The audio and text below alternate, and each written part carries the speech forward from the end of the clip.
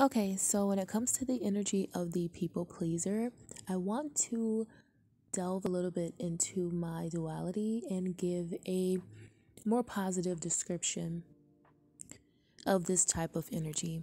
Now, say if you are the type of person who love to see other people happy, you're going to focus on what makes other people happy and do you know how intoxicating that is? Because all people want is for those around them to understand them, right? And whether you are a person who likes to give offerings or you're the type of person who love to give words of affirmations and power, understand that this energy is super super intoxicating.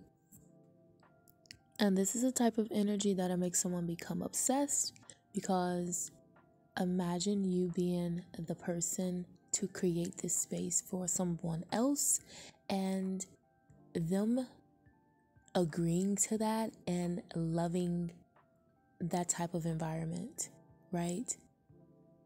It creates a whole nother energy, especially for the person who is the people pleaser and the person who wants to receive. It creates total magic. And to be quite honest, I don't shame people who loves to give other people and also see other people happy because it just says that they're super positive, they have their own abundance, and they love to share. So, that is all. Take care.